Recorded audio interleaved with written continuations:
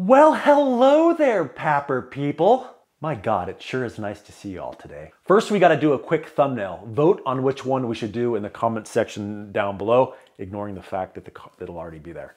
Look, I'm gonna do this on this. I'm gonna go, I'll try to look like I'm questioning. Is that good? Or should I go like this? Hmm. I'll use one of those for the thumbnail. Thanks for voting in the comment section down below. Look here, Papper people. I get a lot of questions, and some of them are video worthy. They're like really good questions. Some of them are video worthy, and they're just simply not long enough for an entire video. So if I do two, that makes a video. First up, we have a really important one. And this is League of Otters says, if the main danger of sleep apnea is low oxygen levels, why not just wear an oxygen sensor that alerts you whenever your levels are low? All my CPAP does is wake me up randomly throughout the night and destroy my rest. An O2 sensor would do the same thing and be far less annoying. This is one of those questions where I just don't buy into the premise. The statement, the assertion being, if the main danger of sleep apnea is low oxygen levels, that's not the main danger of sleep apnea. The main danger or the main thing that we're trying to address with sleep apnea, and this is actually really frustrating, because the video, the video is why you feel worse with CPAP and how to feel better. This, that whole video is literally, I know all the kids are saying literally when actually they mean figuratively, but literally, that's what this video is about. And they asked that question anyway. Okay, so the main danger, or I should say the main hurdle with sleep apnea and CPAP usage is arousals. Why are you waking up? Are you waking up from respiratory effort related arousals, hypopneas, obstructive apneas? If you're waking up from those, it's a simple pressure change. I'm guessing what League of Otters is having a problem with is leaks, mouth leaking. Probably they're on an APAP, which again, I outlined this in the video. If you have this pressure that's all over the place, it's not gonna be good. It's never gonna be right for you. If you have a mouth leak, it doesn't matter what the pressure is. You're gonna be waking up constantly from that. Now, if you're just monitoring your, your blood oxygen levels, that's not really helpful if it's waking you up. Now it's just one more thing to wake you up. What you wanna do is address the problem. Find what fixed pressure you need. If you're having mouth leaking, and I'm talking, look at the trend window of Oscar. You can download it at sleepfiles.com forward slash Oscar. You can download it at sleepfiles.com forward slash Oscar, O S C A R, and you can see exactly what your leak's doing throughout the night. Is it going up or down? That's not good. so fix it. I have videos on that too. We've beaten that one to death. Now is a great time to mention the sponsor of this video, a great supporter of this channel, cpapsupplies.com. Check out their phenomenal new website. I wanna say something about them that really is not so much an advertisement, but a little something else that's a little more near and dear to my heart. I don't think you realize how much they're helping you guys out. In them sponsoring this channel, it frees me up to provide these kind of videos for you guys that hopefully are educational and entertaining all at the same time. Without their support, I simply could not, I could not do this for you guys. So if you're ever thankful for these videos and you need any supplies, be it a mask, a machine, any type of accessory, head on over to cpapsupplies.com. I have links for them in the description box down below. I wanna say something else about CPAP supplies. They have never tried to stifle the creativity or the content of this channel. And as a creator, you have no idea how much that means to me. It tells me that they want honest reviews of the products that they're selling. They want you guys to have the best stuff available. Yes, they provide everything. And just because I don't like something doesn't mean that you won't like it. Like a mask. If I give a mask a bad review and I'm just like, you know what, it's not for me, that's okay. It still might be for you. CPAP Supplies recognizes that. They still let me voice my opinion, and I really, really do appreciate that. All of the opinions are my own. CPAP Supplies is here simply to sponsor me, to support the channel, and help get this information out to you guys. Like I said, anytime you guys ever need any supplies, check out cpapsupplies.com.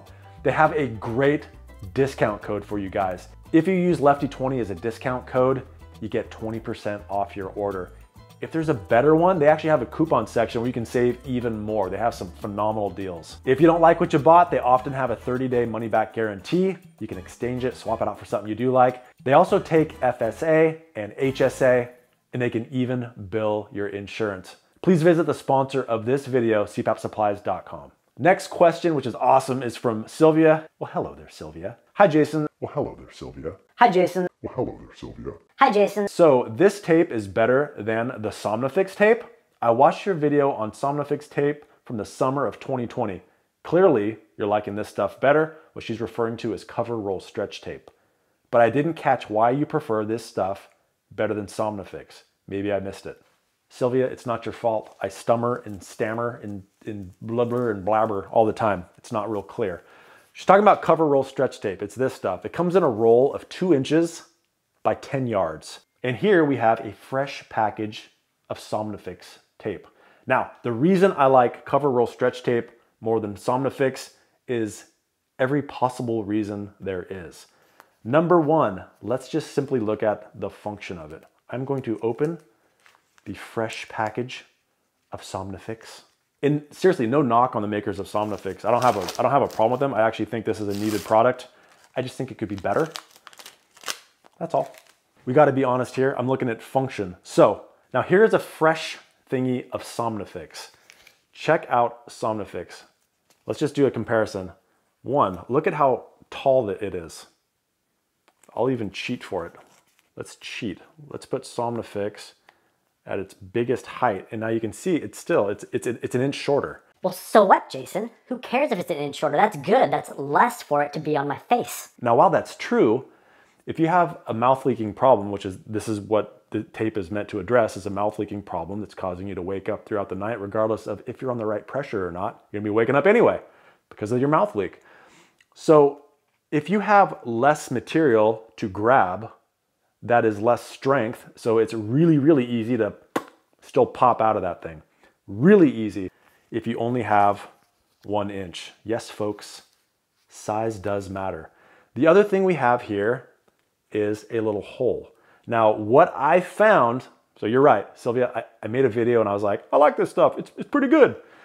And I only used this stuff for a week at the time. I think I mentioned this elsewhere. What I found is all of a sudden I started getting, uh, this started peeling off and I started noticing my lips were spread and it was shooting out of this little hole. And so I was doing this, not, my lips were not sputtering. It was like a really dry mouth. So I said, crap, this stuff sucks. And that's back when I was paranoid and I thought you needed a hole in the tape because if the power went out, you would die and suffocate. Now, what happened between then is power went out. I did not die and suffocate when I had fully taped up my mouth. Let's go ahead and do a demonstration of this. I know this is longer than everyone wants, but let's just really beat this to death. Okay, we're going to apply this. I'm to purse my lips.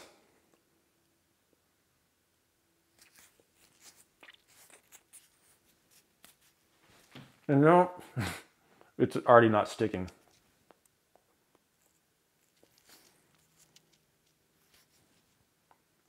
So if I were, if I were trying to relax, it would just it just pops off. Now I understand you're like, excuse my Johnson, you have a lot of facial hair.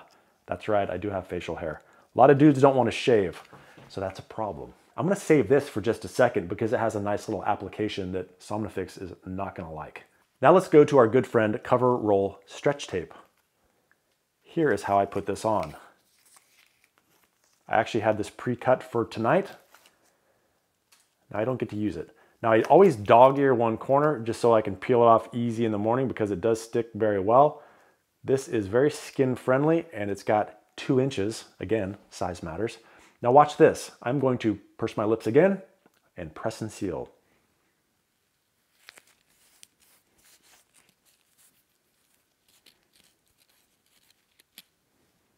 Mm-hmm. mm-hmm, mm-hmm. Hmm.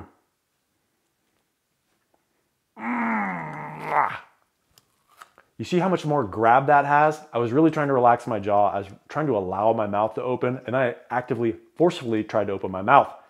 Didn't open. That is the difference between one inch and two inch of vertical sticky grabbiness. It matters. Also, as you'll notice, no hole, and this has a hole. That's a problem. Okay, now let's get on to the financial aspect of this. Performance, hopefully that showed you why I prefer cover roll stretch tape. Skin friendly, perfect amount of stick. It's very sticky, yet not too sticky. Also, it does not have a hole. The most, and another very important aspect of this, This, I will leave a link in the description box down below. You get two rolls of this, which is 20 yards, 20 yards for $11. At least that's what it is right now. And this, you get 28 of them for about $30. What a ripoff. Now let me show you what one person did. Now I am not personally advising this because I think you just cut off the whole roll. I think, I think two inches of vertical grab is perfect for this, but they actually use this as a template and then they cut around it to create their shape.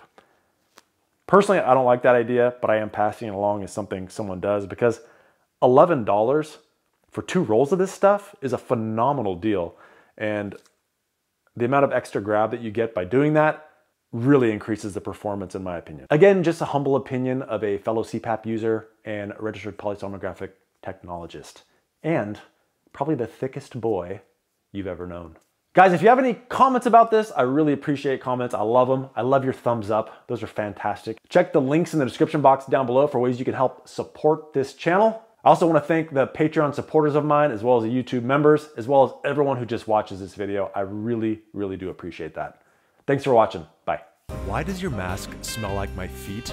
Pick up some Mask Bright today. Thank you to all watching, but an extra thick thanks, buddy, to Doug Toombs, Jason Georgiades, Matthew Lilly, Mona Swearingen, Chung Chu Chen, Patricia Espalong, Ray Troutman, Starvesh Joshi, and Stuart Hetherington, as well as a big thank you to all my other Patreon supporters and YouTube members. Little tiny thanks, buddy, for you guys.